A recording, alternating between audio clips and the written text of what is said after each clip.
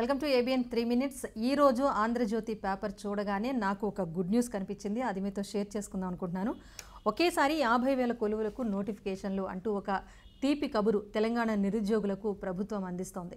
So Telangana public service commission చైర్మన్గా ఘంటా చక్రపాణి పదవీ కాలం పూర్తయిన సందర్భంగా ఆయన పదవీ విరమణ చేశారు. ఘంటా చక్రపాణితో పాటుగా మరో ముగ్గురు సభ్యులు కూడా పదవీ విరమణ చేశారు.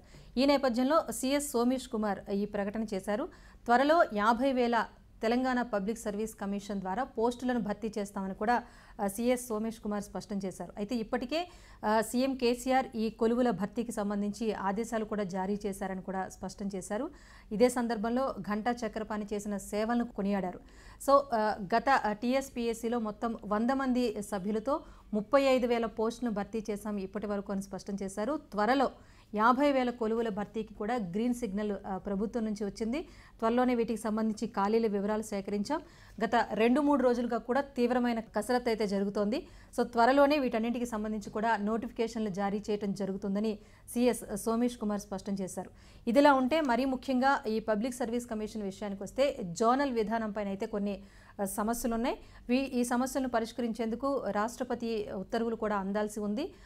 ఆ ఉత్తర్వులకు అనుగుణంగా కూడా ఈ జోనల్ విధానానికి సంబంధించి సమస్యలను పరిష్కరించేందుకు తన కార్యాలయంలోనే ఒక ప్రత్యేక సెల్ను ఏర్పాటు చేశామని కూడా సోమేష్ కుమార్ స్పష్టం చేశారు.